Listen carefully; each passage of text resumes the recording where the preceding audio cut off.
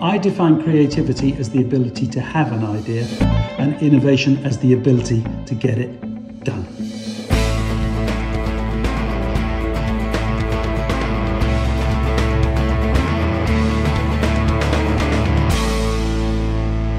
How can we maximize our creativity when we're working remotely? Where are you and what are you doing when you get your best ideas? Okay, we're at 50%, 70, 80%. Oh, new record. Come on, let's break through. Ending the polling and sharing the results.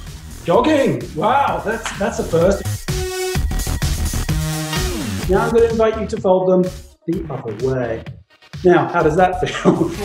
Created by Walt Disney uh, for the film Fantasia. Have you ever thrown out an idea to have it shot down? Nice to meet you. So, I'm going to come at you with some Star Wars ideas. What if we did a glow in the dark lightsaber party? And we can involve kids to do like the baby Yoda from The Mandalorian. Okay, so question Do you think our idea got bigger or smaller? Definitely bigger. The moment you can transfer the power of my idea to our idea is the moment you accelerate its opportunity to get done. The first barrier we found, and by far the number one, was I don't have time to think. Diversity is innovation.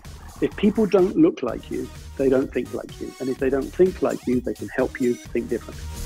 Come on, let's have a look at the houses. Oh my god, oh my god, oh my god, that was so inspiring. And it's gonna be such a nice addition to the workshop uh, I'm gonna do in a few weeks.